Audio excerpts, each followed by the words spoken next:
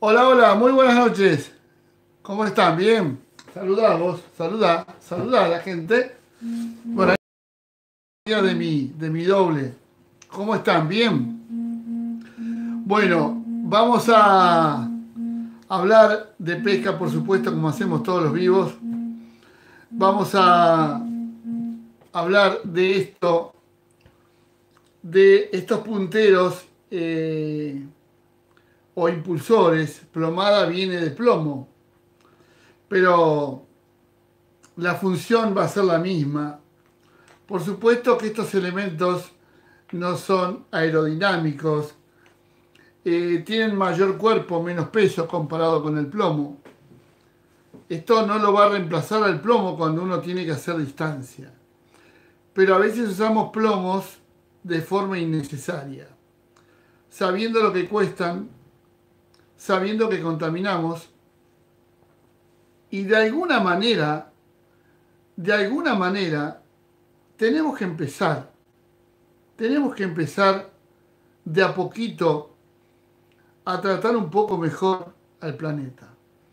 Por supuesto que no sirve si esto lo digo yo y lo hago yo solo, pero yo sé muy bien y tengo la suma confianza y esperanza que siempre hay gente que se pone a pensar, reflexiona y dice, tiene razón. No es la primera vez que toco este tema. Eh, una vez me acuerdo que eh, fui a transmitir un concurso en Clanomecó para los que no son del país, concurso de pesca a la pisa mayor, el más grande de la Argentina. Me acuerdo que esa competencia fue el récord absoluto. Participaron 6.800 pescadores en 40 kilómetros de cancha de playa. 6.800 pescadores. De noche era 24 horas de pesca, de noche una ciudad lleno de luces, vehículos, no 4x4. Todo el mundo se metía a la playa, acampaban y participaban de esa fiesta. El comienzo del concurso era creo que a las 4 de la tarde. Así que en ese momento yo trabajaba en una radio con mucho alcance, en una M, donde llegábamos perfectamente bien desde Mar del Plata a la mayor parte de la provincia de Buenos Aires y por supuesto, lógicamente, a Claromeco, Reta y Orense. Así que yo había anunciado en mi programa que el concurso Todo Pescador lleve su radio estamos hablando hace 25 años, todo pescador lleve su radio a la playa. Porque cuando comienza el concurso, que se hacía con una bomba, un estruendo, pero que eran 40 kilómetros de playa, yo lo iba a hacer con una sirena de bombero que se iba a emitir por mi radio y que ellos, teniendo una radio en la playa, iban a escuchar la sirena de la largada de la competencia. Y aparte llevar la radio porque yo cada media hora iba a dar un informe completo desde el lugar, iba a hacer flyers diciendo cómo iba la competencia y cómo iban las extracciones de peces. Pero aparte de eso estaba todo vendido, o sea que yo armaba todo ese circo porque para llevar un técnico y hacer una transmisión y que la tomara la radio y que la radio me subiera a eso tenía que haber un auspicio de 30 clientes auspician el inicio de esta competencia las siguientes empresas comerciales. Juan, Gomería, Farmacia, Restaurante, Carlito. Iba todas las empresas que auspiciaban, me daban a mi aire, faltando dos minutos, y yo me acuerdo que en ese momento había hecho la cuenta Faltan tres minutos para la largada. Atentos pescadores. En tres minutos van a caer al agua. No me acuerdo, no voy a hacer la cuenta ahora, pero supongamos 3.500 kilos de plomo. Van a caer 6.000 plomadas de entre 150 y 160 gramos promedio. Y yo decía todo eso. Y después uno nunca más las encuentra. Puede haber una bajante extraordinaria y uno encuentra un manojo. Pero la cantidad de plomos que nosotros, los pescadores, hemos tirado al mar es impresionante. Así que ya desde esa época yo venía pensando en cómo hacer plomadas ecológicas.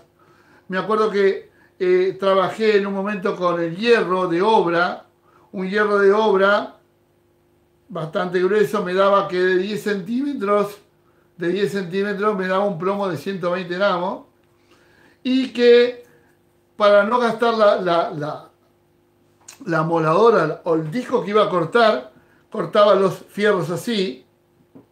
Entonces ya este corte me servía para el otro extremo del otro fierrito y así después agujerear ese fierrito, pintarlo al fierrito y con eso reemplazar el plomo que iba a salir eh, un poco menos y que no íbamos a contaminar. Y para ciertos lugares que no hacía falta tanta distancia, se podía usar el hierro porque ya estaba faltando el plomo. El plomo sigue apareciendo.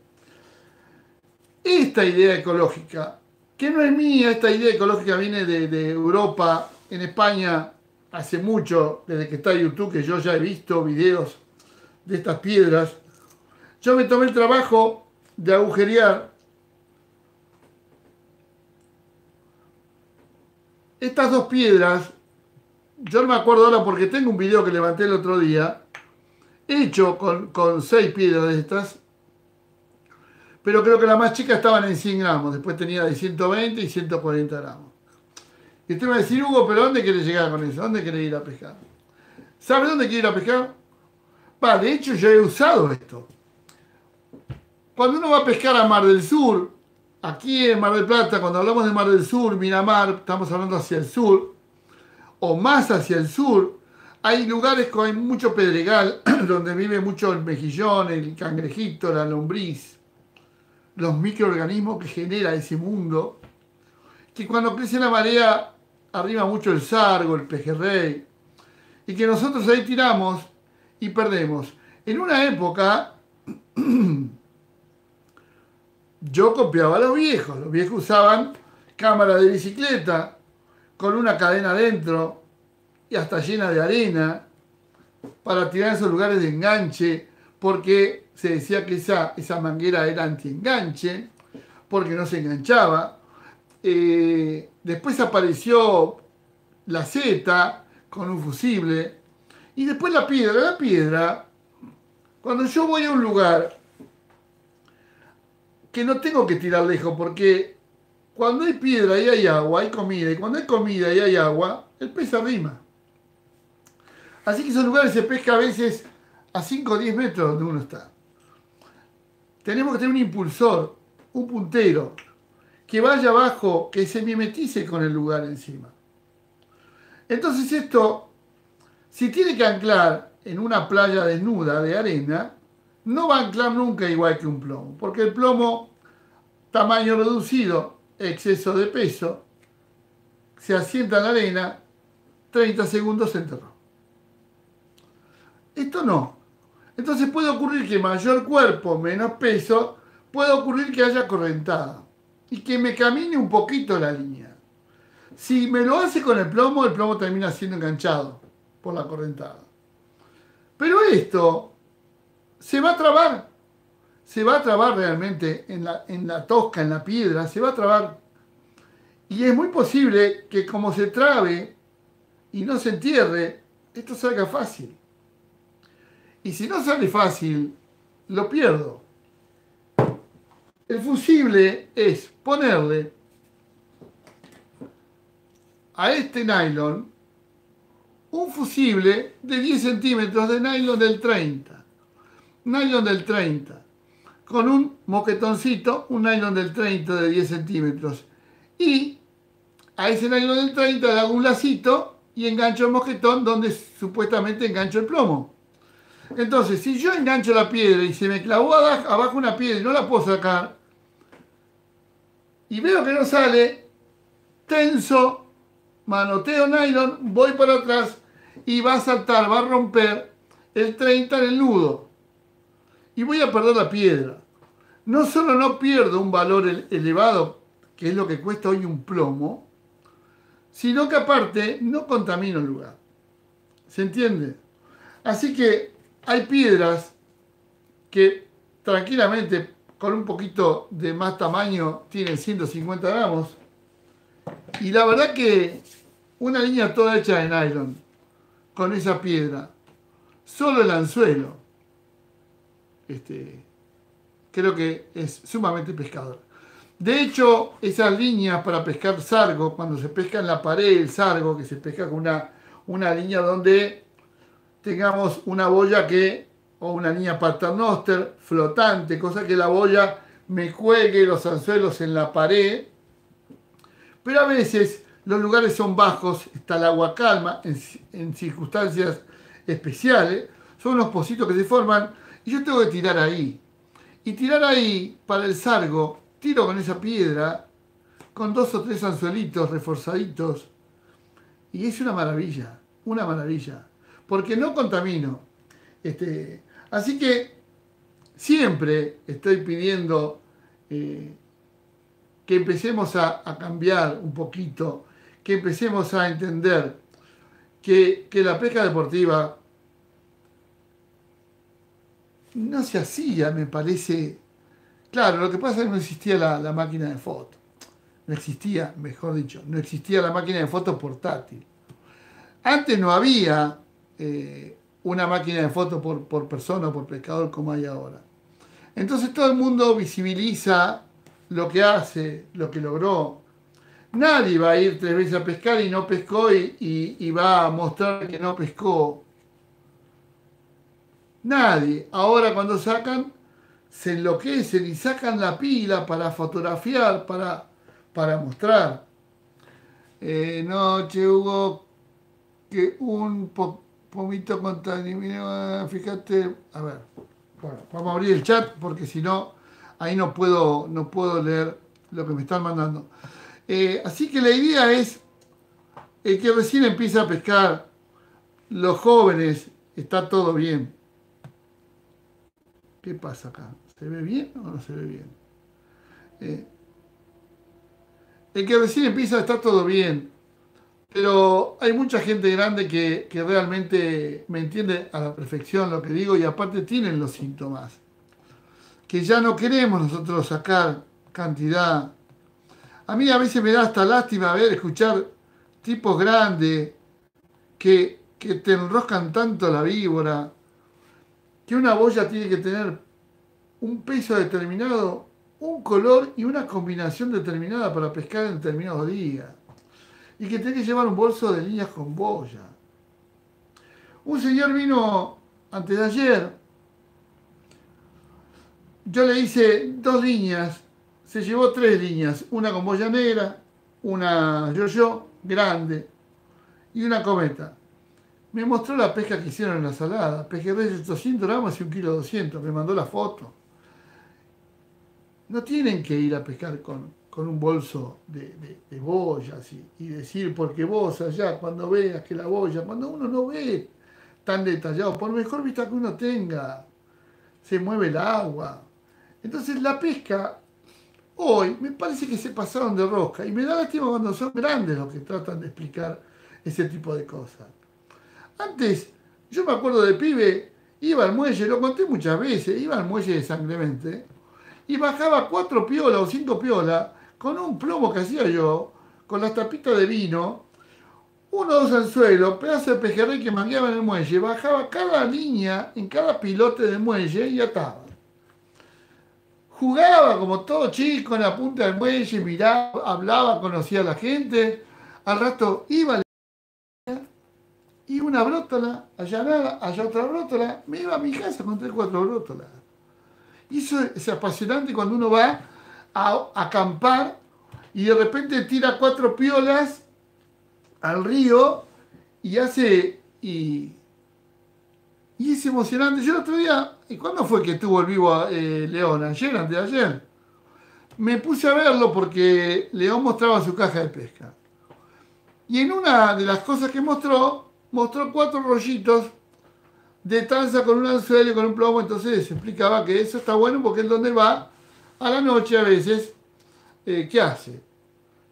Tira, desenrolla eso, tira ahí a 5 o 10 metros una carnada, allá tira otra línea, tira cuatro líneas y se va a dormir. Y a las 3, 4, 5 horas, se levanta el tipo y va ahí entusiasmado, va a levantar el pescado, pescado que él come. No es que lo hace y que usted me puede decir, eh, está, está depredando, no depreda, se come todo. ¿eh? Yo creo que me parece que hoy con los equipos, con la comodidad, con todo, no solo el equipo, ¿no? Con la comodidad que tenemos para ir a pescar, eh, con la información que tenemos de los sitios donde nos dan el tiempo, nos han quitado esa, esa sorpresa que nos daba esta actividad. De ser primero todos más parecidos. Ahora no somos todos parecidos. Parecimos que vamos a pescar y de repente, de repente, en un momento vemos que, vienen este, extraterrestres que bajan y se ponen a ensillar cosas que, equipos y vos los ves y, y, yo sé que lo disfrutan y está bueno, yo también compro, vendo cosas de pesca, pero me parece que es más simple. Es como el ejemplo de la cocina. El otro día yo después me escuchaba, y es cierto, yo hoy, hoy me cociné, saqué una bolsita de tentáculos de calamar que había guardado Agarré los tentáculos, me preparé una salsa de tomate con morrón, cebolla. Dos minutos, pa, pa, pa, pa, pa, pa. Preparé ajo primero con aceite de oliva. Después le metí una hoja de laurel, tomate, un poco de agua.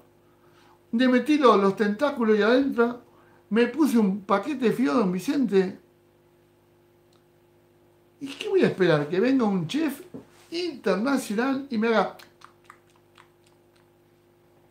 Sí, el calamar o lo cocinas poco o lo cocinas mucho, porque si no, está duro. O el otro te va a decir, está a punto. O, para mí, está rico. Está rico, está rico. Y la pesca es mucha vuelta. Mucha vuelta con todo. Por eso, eh, a veces me, enoja un poquito. Y, me enoja porque se enojan conmigo. Por eso me enojo. Porque Sería un tarado que yo me enoje con un tipo que, que viene eh, vestido para, para el show de la pesca, eh, va a pescar, usa 20.000 elementos y artefactos. Este, no, no me enojo con el tipo. Me enojo con el tipo que se cree que eso es llegar a hacer todos los deberes bien. No. Porque te va a agarrar un pibe en una orilla, en un lago, en un río, en un arroyo, revolviendo una liñita y te va a pasar por arriba. ¿Eh? Porque el pibito capaz que le metió una lombriz, dos lombrices al anzuelo, revolvió, tiró ahí en el arroyo, se fue a jugar, o tiró otra línea allá, y se fue a jugar. Y vos estás con la sombra, estás con las pisadas, estás con tu caña, estás con el sol de atrás, no te das cuenta, y vos no tenés un pescado al lado tuyo. Un pez sería. Bueno, vamos a empezar a, leer yo soy agradecido, agradezco a todos. Eh, seguimos subiendo. ¿Se acuerdan que le, puse que estamos en 2800? No sé qué estoy haciendo. No sé si Cristian Mayeri me está dando una mano o alguien porque estoy en 2900 suscriptores por día eh, y, voy a llegar antes de tiempo a los 100.000.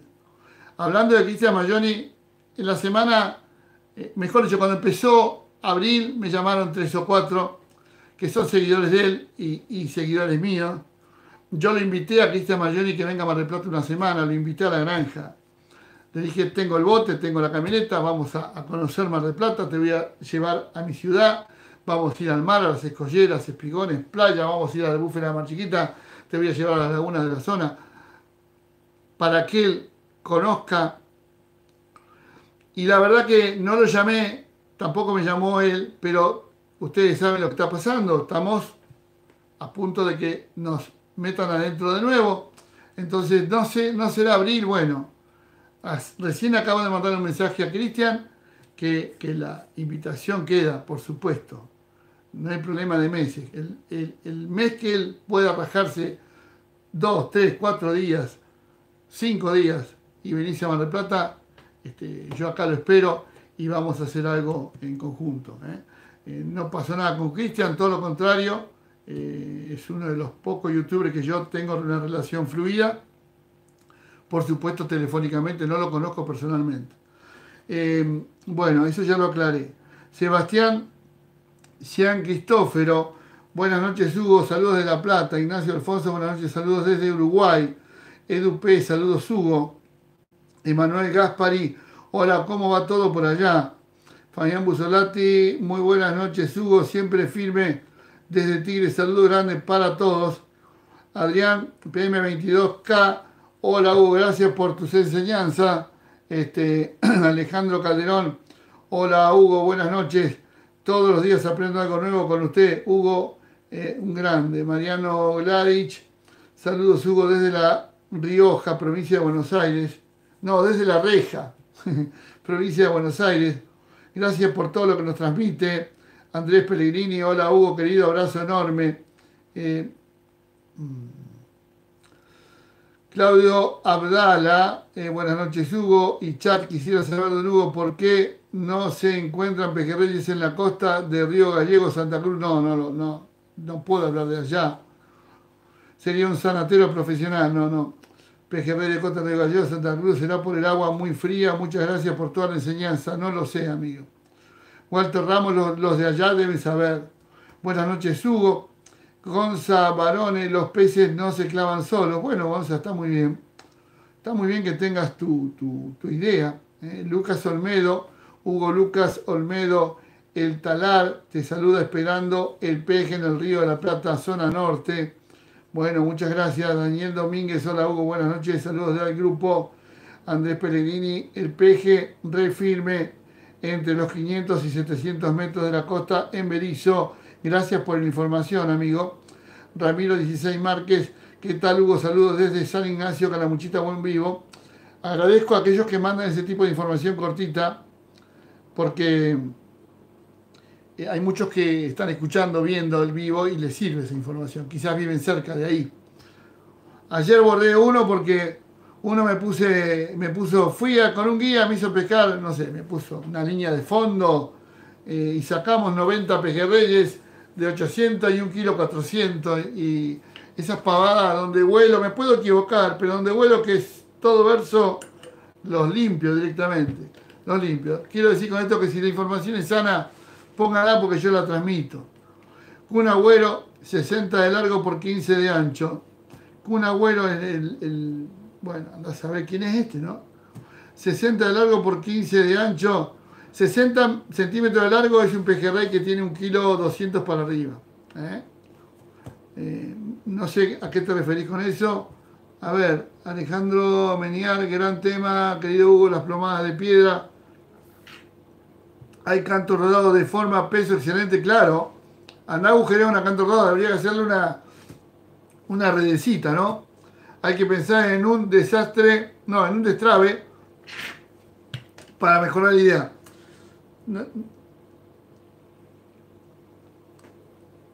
Sí, pero la gracia es que vos con un agujerito ya está, tengas el elemento que te ayuda a pescar. Lo que pasa es que un tipo que va con una caña de 20 lucas, va con un reel de, 20 lucas, va con... Y vos le decís, pues una piedra. Y te va mirando y dices, ¿por qué? Si yo puedo comprar la plomada. Bueno, pues yo estoy hablando un poco más allá, ¿eh? tema no, no contaminar. Alejandro Meniar, eh, ya lo leí. Eh, un abuelo, otra vez. Buenas noches, Hugo. Tengo una pregunta. ¿Qué pasa si pesco una carpa en el río y la pongo en un trabajar que tengo? Un trabajar no sé qué quiere decir. Tiene taras, mojarras, eh, tiene bastante vida, el trabajar es de 4 metros de profundidad. Eh, si te pones una carpa, la carpa grande no van a hacer nada, pero si, si, una carpa, ¿no? Digo, si vos pones carpa y querés que tengan cría y lugares grandes, este, y tenés talarira, y talarira bastante brava. Pero igual, si, si está todo en condiciones, prospera la carpa. Martín Estanga, por lo general se hace más fina la brazolada porque en caso de enganche perdés solo la brazolada y no la línea entera.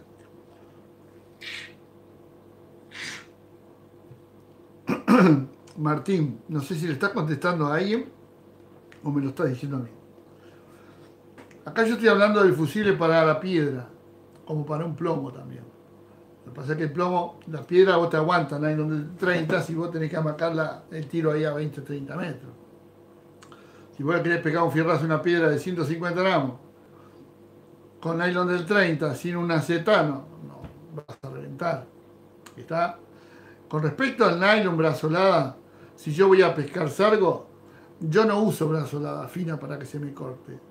Porque con cualquier roce, con cualquier mejillón en esa zona, corto enseguida, pierdo el sargo.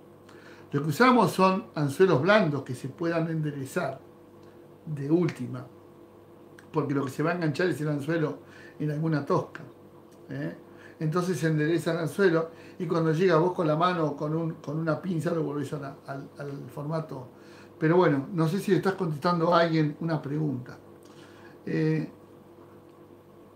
un agüero. Ah, acá está. Ahora me pone 60 de largo por 15 de ancho. 60, una cava tenés vos. 60 eh, de largo, bueno, todo esto tiene que ver donde vos vivas. Si vos me decís, mira, ¿sabes dónde vivo yo? En Chubut. Y no, la carpa ahí, qué sé yo, y la tararira ahí. La carpa te va a servir, pero la tararira no. Además vos me decís, mira, yo estoy en el norte, o estoy en Tucumán, o estoy... Y la tararira yo creo que va a ganar. Va a ser un desastre. Martín, eh, por lo general, se hace más fina. Así ya está. Martín Estanga, no sé si me contesta a mí. Mirko, Mirko Todorovich, saludo de General Madariaga. Hoy estuve en Los Orcones, lindos. Lindos pescadores. Mirá qué lindo. Los Orcones está al lado de la salada. Andrés Pellegrini, qué lindo Los Orcones. Franco Durán Borra, Gracias, amigo. Eh, Hugo, responde mi pregunta, por favor, un abuelo. Ya te respondí, amigo, ya está. Eh, no leo todo tan rápido. ¿eh? Daniel Lost, no, che, Hugo, que con un pomito contaminemos, si no, fíjate el polietileno que hay en el mar. Daniel Lost, no, che, Hugo, que con un pomito contaminemos, si no, fíjate, sí, el mar es un desastre, pero no sé qué me estás diciendo acá. Eh, oh, con abuelo otra vez. Ah, pero mandaste varios, pibe. Mandaste varios. Bueno, vamos a, seguir. ¿eh? Eh, oh, abuelo, no entendiste. No, ¿sabés qué vamos a hacer con abuelo? Mandamos un WhatsApp, no ahora, ¿eh? porque no te voy a dar bola. Mañana mandame un WhatsApp y yo te contesto. ¿eh? Porque si no sabes qué hago, le digo a la gente que se vayan todos y te atiendo a vos solo. No podés mandar 10 mensajes. ¿Está? Eh, bueno. Bien. Y si no tenés paciencia, no te gusta lo que te dije, bueno. No sé qué decirte. Y ahora me perdí. Uh, uh este le pone 5, somos hombres libres, teoría. Bueno. Alejandro Calderón, tengo mucho para aprender, yo no puedo sacar una carpa, siempre pasa lo mismo. Llega otro a mi lado y saca dos o tres y yo ni uno, pero sigo firme. Bueno, tenés que mirar. ¿Cómo lo vas a sacar? Tenés que mirar cómo hace el otro y imitarlo nada más. Y que no te diga, eh, yo tengo la pasta, la pasta eh, secreta, que no te diga eso. Va, que te lo diga, ponle de bola.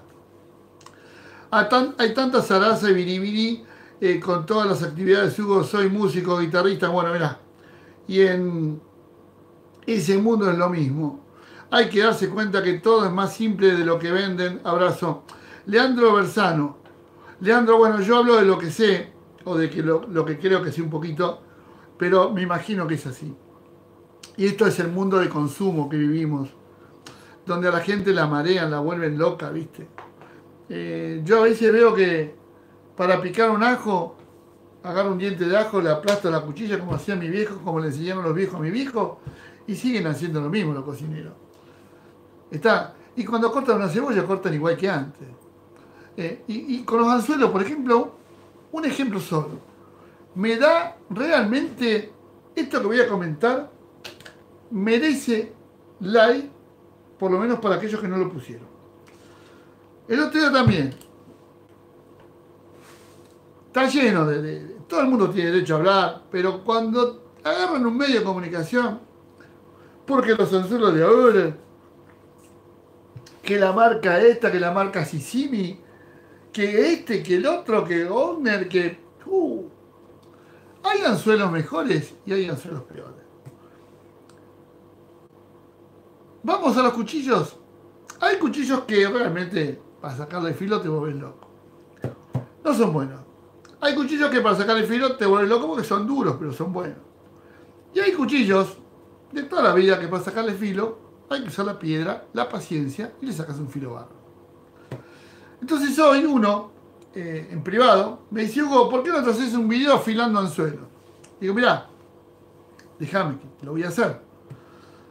Eh, pero funciona afilar anzuelo, me dice. Y ya es como que... ¿Entendieron, no? Perdón. Y dije, flaco, si yo con una piedrita afilo la punta del anzuelo, y no te hablo un anzuelo para corvina, marrón, no te hablo una, un anzuelo, digo un anzuelo marrón para corvina o para, para tiburón inclusive, no te hablo un anzuelo, vamos, vamos a lo delicado, te hablo un anzuelo de pejerrey, como usamos muchas veces los oxidables de mustard que los afilábamos.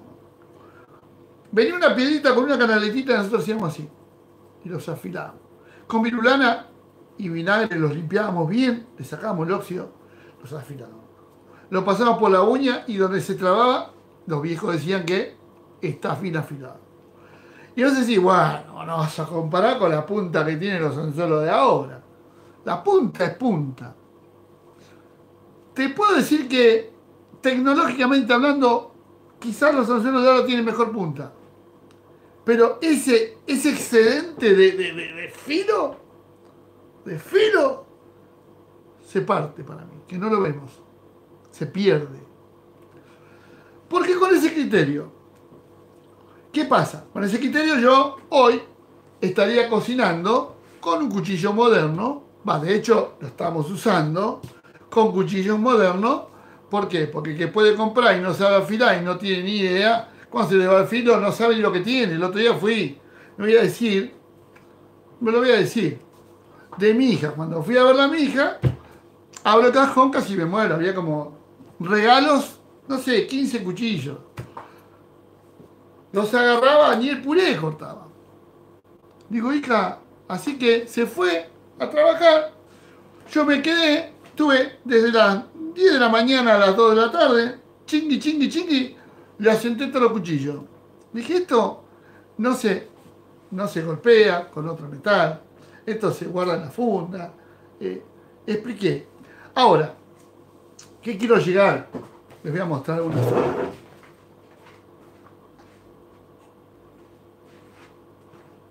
Esta es una navaja que el otro día se la encontré a mi hijo. Ustedes conocen la marca. ¿No? Bueno. La punta, acá, estaba toda rota. Se ve que mi hijo no tenía un destornillador y le dio con la, la pluma. Y la partió. Y no le dio una sola vez, le dio y la partió de nuevo. Entonces estaba partida dos veces. Yo agarré la piedrita y le empecé a dar. Y chingui, chingui, chingui, le di el filo. Ahí voy a la punta de los anzuelos. Ustedes me dicen que esto afilado corta, pero no vas a comparar con lo moderno. Les digo de nuevo, una vez lo dije, si a mí me, me tiran en una isla y me dicen quédate acá, en esta isla, te vas a quedar un año, te vamos a dar un cuchillo, antiguo o moderno ni piedra, ¿eh? Piedra que busquen alguna piedra en la playa. Te vamos a dar de herramienta un cuchillo que tenés que elegir vos, moderno o antiguo. Y no quiero decir que lo antiguo es mejor, pero muchos van a estar de acuerdo conmigo. Te vamos a dar un cuchillo antiguo o moderno, el que vos quieras. Bien, quiero el antiguo. Porque lo conozco, porque sé que yo lo puedo afilar, porque sé que, que siempre voy a tener filo y te vamos a dar un surtido de 10 anzuelos. ¿Querés anzuelos de antes, afilables? ¿O querés anzuelos que son mortales? Que ojo si pasas cerca porque te van y te clavan. ¿Qué elegís? y yo elijo los anzuelos de antes. Porque con cualquier piedrita, con cualquier caracolito, yo afilo el anzuelo. ¿Qué eligen ustedes? Si a vos te dan en una isla, te van a tirar y te van a dejar, te quedas un año acá, te doy un cuchillo y te doy 10 anzuelos. ¿Qué eligen? Entonces, no me digan que ahora esto, los cuchillos de ahora, las navajas de ahora cortan más que antes. No, lo que a vos te venden ahora corta bárbaro sin que vos lo tengas que tocar. Pero dentro de un tiempito dejan de cortar. Y esto siempre está vivo y está a disposición. Lo moderno se complica la cosa. Andá a afilarme un anzuelo de los nuevos y grande. Andá a afilármelo si, si se despunta. A mano. ¿eh? Bueno, eh, ahora si mi hijo está viendo el me lo va a venir a pedir. Porque es así. Tuve como una hora para, para, comer y, solucionar. No saben lo que corta. ¿Saben qué hago con esto? yo tengo un imán ahí grande, así, lo tengo todas las cuchillas, bueno, algunas. Con esto. Ay, ay, ay.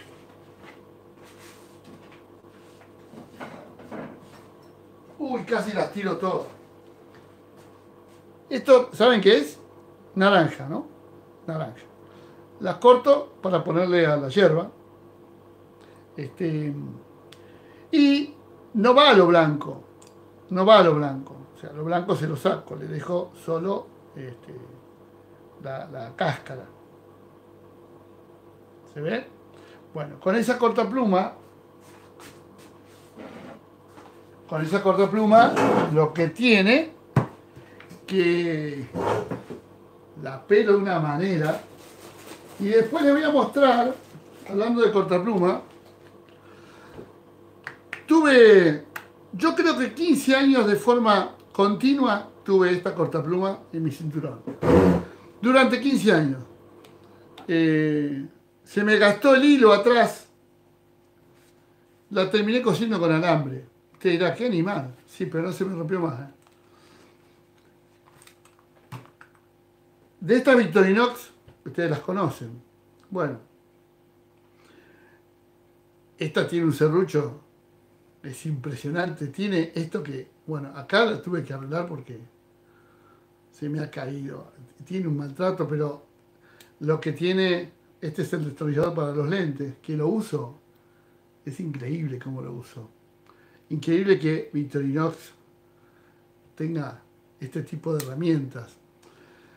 Y después lo otro que recién acabo de decirles es que el material es impresionante. Yo me puedo afeitar. Este, teniendo la batalla que tienen las cosas buenas, las cosas de antes. Bueno, 250 personas al otro lado, muy bien. Vamos a seguir con los chats y ya voy a ir a a, el WhatsApp, me pidieron que dé el WhatsApp. El WhatsApp mío es el 2236 027 377. 2236 027 377. Donde yo pongo los videos y pongo descripción, ahí están los links.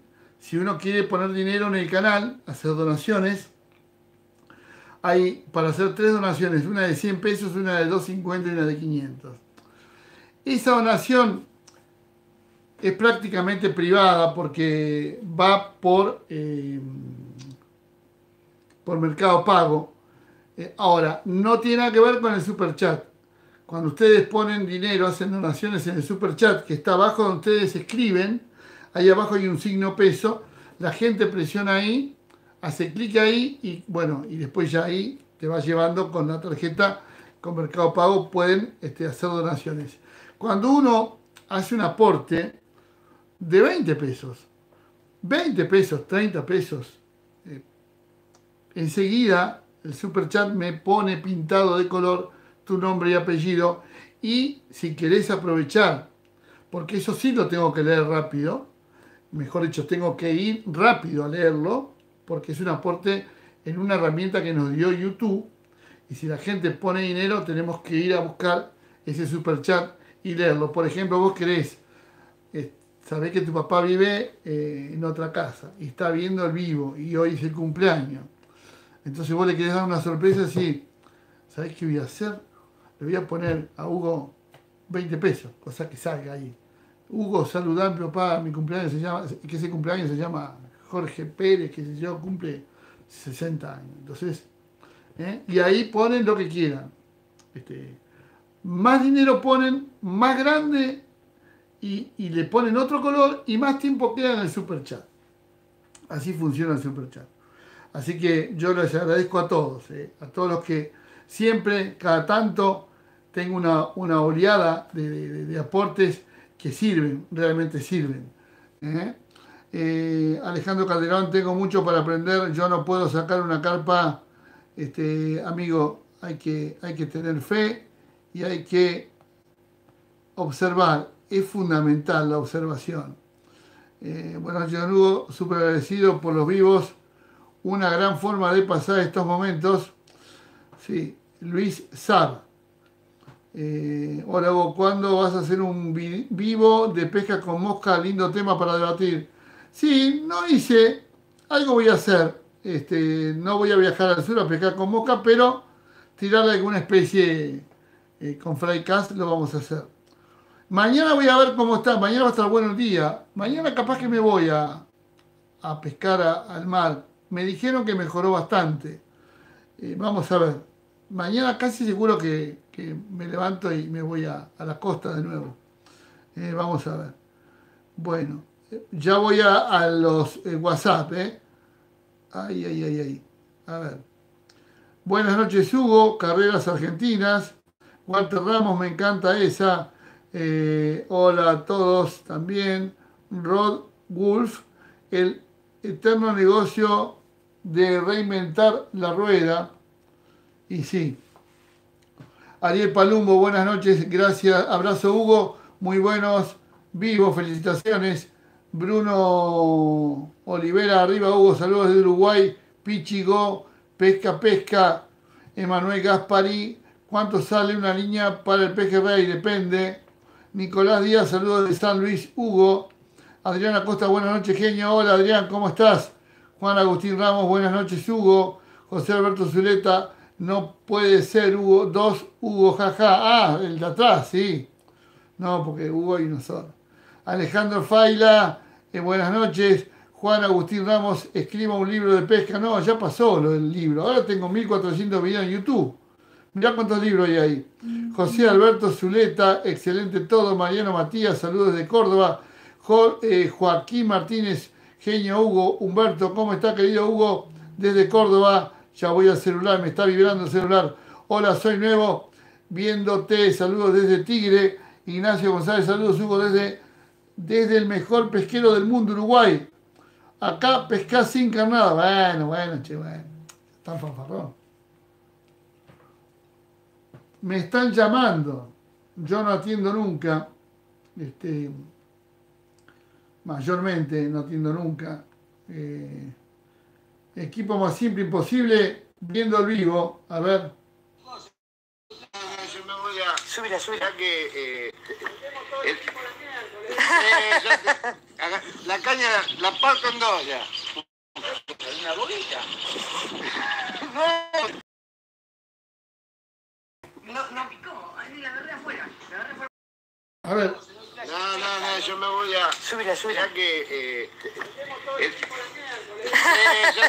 eh, la caña la parto en dos ya. ¿Una bolita? Bueno, lo puse de nuevo porque ahí está lo que hablamos recién. El hombre está con la caña y todo, y el pibe está con el palito, tiró ahí nomás y sacó un pescadito. Esa emoción no te la quita nadie. No te la quita nadie. Bueno, a ver. ¡Uh, mi amigo Pesca Urbana! A ver qué dice el loco este. Hey, Hugo, ¿qué hace? ¿Cómo andás? Yo tampoco me olvidé, boludo. Lo que tiene, que ahora yo en mayo, en la primera semana, me voy a un lado a pescar. Cuando vuelva, ahí planificamos tranquilo y me voy, una semanita me voy. Dale, Cristian, dale. En mayo, Dios quiera que esto se pase, ¿viste? La verdad que que se pase este tema de, coronavirus porque eh, está, está complicado. Y bueno, y te anuncio que estoy llegando a los 100.000. ¿eh? Estoy en un promedio, no sé, vos, un tipo que sabe esto, voy aumentando prácticamente cada dos semanas la cantidad de suscriptores al canal. Eh, caí a 2.400 suscriptores por mes y ahora estoy en 2.900 por mes. Cada 28 días, 2.900 suscriptores que están entrando al canal eh, por mes. Así que eh, ya estoy prácticamente en 3.000. Quiere decir que en 3.000 suscriptores me voy a, a, calculo yo, en pocos meses llegar a los 100.000. Ya estamos en 91.000 casi. Bueno, Cristian Mayoni, esta es una máquina.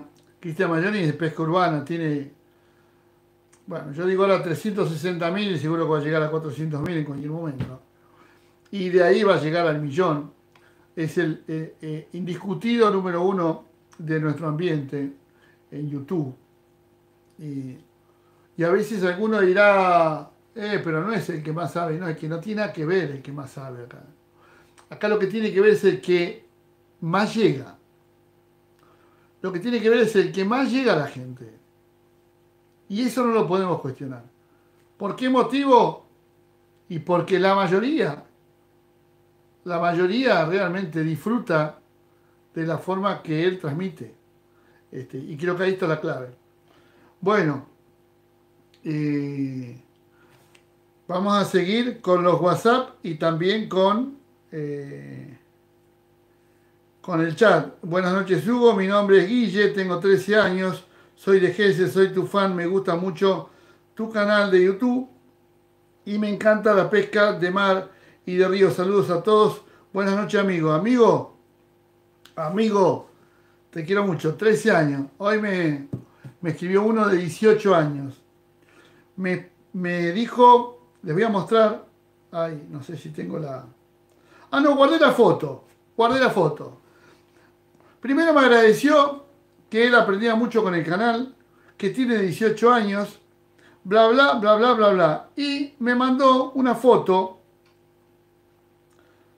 con una pregunta. ¿no? Me dijo, Hugo, yo saqué un pejerrey enano, tengo una laguna a dos cuadras de mi casa y voy a pescar y junto camarones y pesco con camarones este, y saqué un pejerrey enano. Y entonces me dice, ¿qué opina de este? Y me mandó la foto.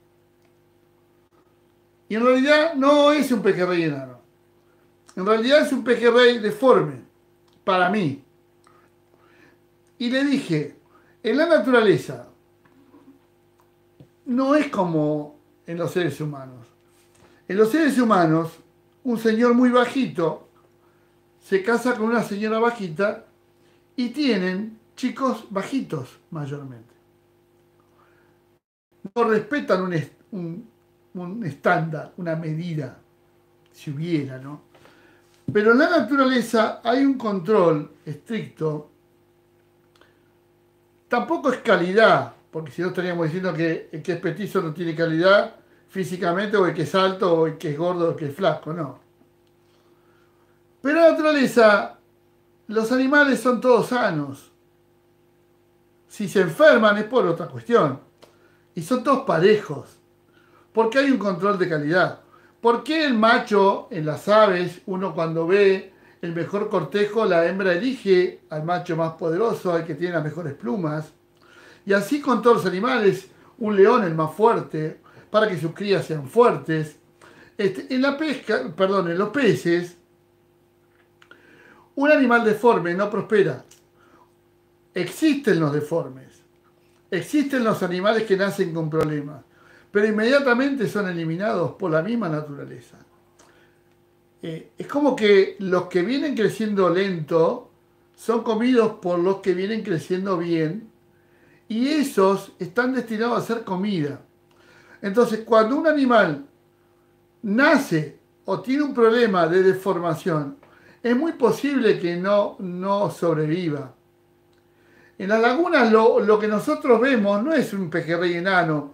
Lo más común que vemos son esos pejerreyes que vienen con eh, la columna vertebral torcida, que supuestamente los estudios que han hecho los biólogos eh, son parásitos alojados en estos animales en una situación determinada de estrés por alguna cuestión humana o climatológica que esos peces estuvieron a punto de morirse o estresados por falta de agua o qué sé yo, y en, esos, este, en esas circunstancias parásitos que conviven con los animales sanos se apoderaron de estos animales que no estaban en buenas condiciones y bueno, sobrevivieron y quedaron afectados con ese mal.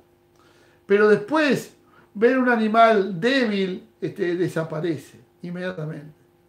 Hay un equilibrio ecológico hecho por los aves, por los mismos peces y también por los animales acuáticos que viven bajo el agua. Así que le dije eso, que para mí no era un pejerrey enano, para mí no era un pejerrey diferente, para mí era un pejerrey que ha nacido con problemas, ha sobrevivido, pero que no es la, media. ¿eh? Bueno, y, quería decir, eh, me encantan los pibes que realmente eh, entienden este, el idioma de este hombre grande, que, que, no es el de 40. Yo tuve 40, yo tuve 35 y yo lo miraba a mi viejo. Nunca más me voy a olvidar. Este, y es un mensaje para, para aquel que lo quiera tomar.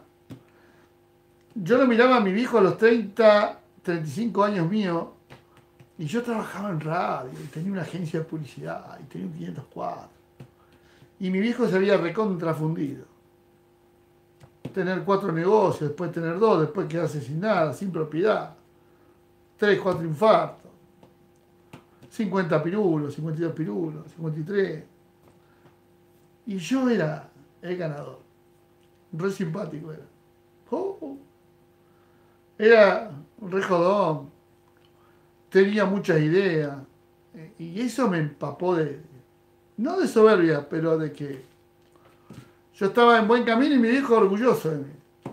Y dije, yo no voy a laburar como mi viejo eh, y no tener propiedad, morirme sin propiedad. Mi viejo murió a los 57 o 59 sin casa, alquilando.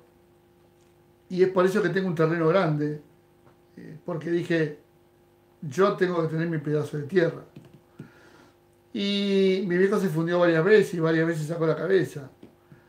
Y dije, yo a los 50 años no laburo más, voy a trabajar, pero regulando, voy a tener mi granja acuática con peces, mi salón de fiesta, ya tenía todo armado. Y las cosas a los 50 exactamente me empezaron a, fallar. Yo me empecé a sentir eh, un poco eh, viejo o grande o fracasado, porque los chicos naturalmente empezaban a borrarse. Eh, mi esposa en ese entonces no tenía la pasión que tenía yo, o sea que yo con el programa de radio, criando peces y estando pescando, a mí se me pasaba las horas volando. Y vino un divorcio, inesperado para mí. Pero porque no prestaba atención, inesperado. Pero normal, natural, vino un divorcio, el divorcio. Y a los 50 tuve que empezar de nuevo. La gran alegría que cuando empecé, que empecé a reaccionar a los cinco meses más o menos, puse un negocio sin plata y me daba cuenta que, que toda mi experiencia me hacía fácil el manejo de todo.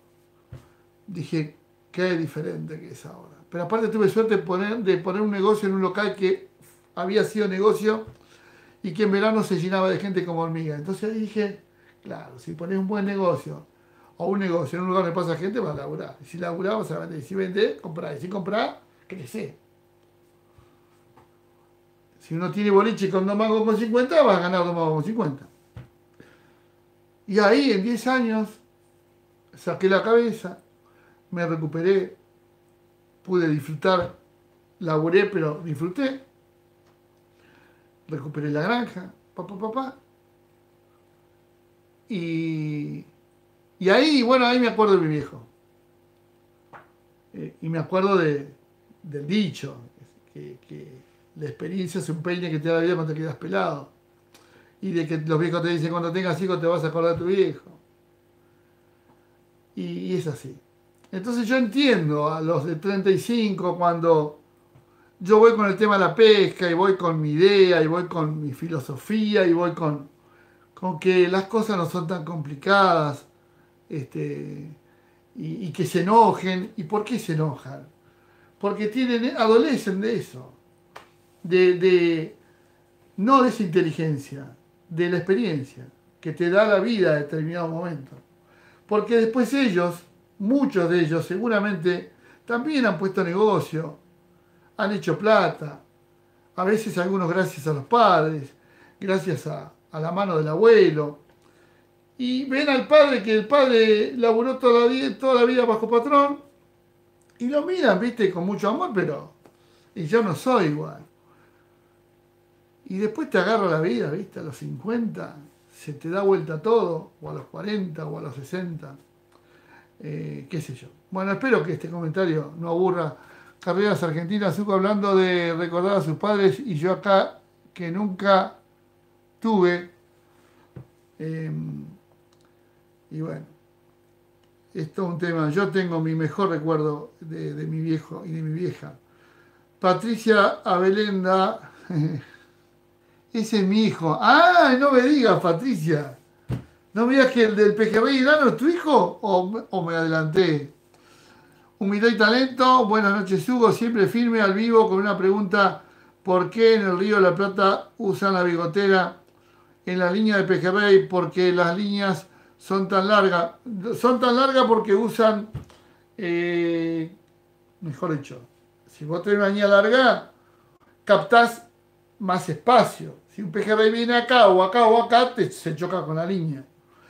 La bigotera es un elemento que pesca muy bien porque va vivoreando, va moviéndose, la que más trabaja, la que más mueve la carnada, y el pejerrey donde más se atreve a ir al final de la línea.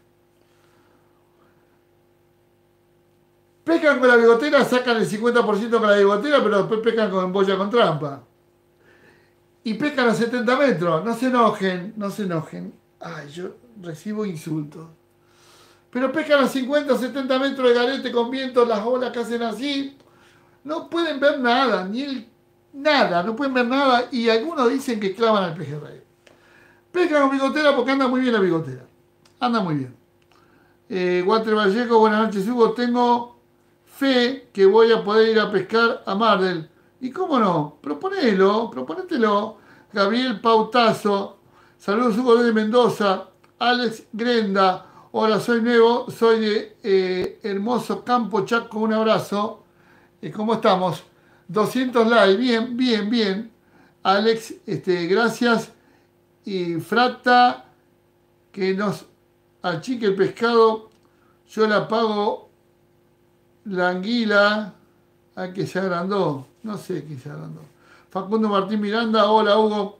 ¿Qué recomendás para el río Bermejo? Soy de Formosa, depende de la plata que quieras gastar eh, y depende, porque hoy me llamó otro muchacho también. Me pone, Hugo, quiero comprar un equipo barato y que me dure eh, mucho tiempo. Río rotativo y frontal, eh, río rotativo y caña para río. Digo, ¿de costa? Me pone, quiero una caña de un 80, entonces no es de costa y rotativo, le digo yo, que es un huevito. Sí, pero yo soy, eh, soy derecho, pero recojo con la, con la izquierda. Dije, vamos a hacer una cosa.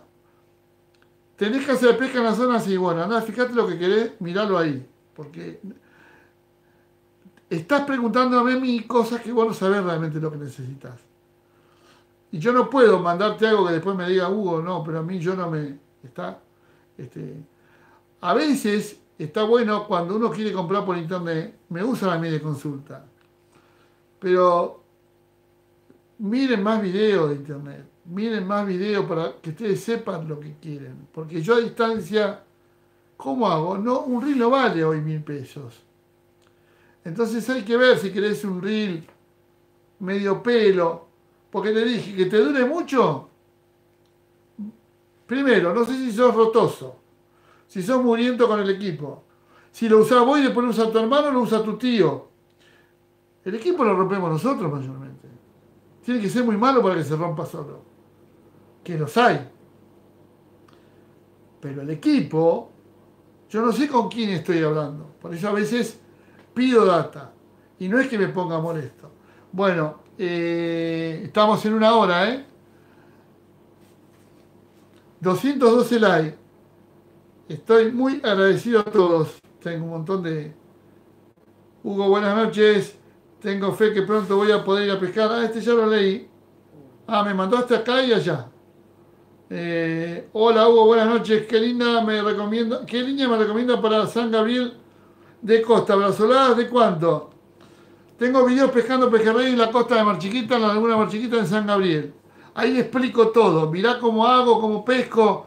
Línea es un metro cincuenta, una bollita chiquitita arriba, le pones tres brazoladas de 25 o 30 centímetros del 30 y nada más. Eh, hola, soy nuevo, soy de... Ah, hermoso Chaco, ya lo leí ese. Bueno, vamos a seguir y nos vamos a ir despidiendo. ¿eh? Carreras Argentina, yo me pone. A ver, Carreras Argentina, mañana voy a hacer mi primer pesca solo por primera vez. Hugo, tengo 17 años. Voy en busca de las bogas a la jaula en Entre Ríos, a unos kilómetros de Paraná. Suerte, amigo, y que disfrutes. Y comelas.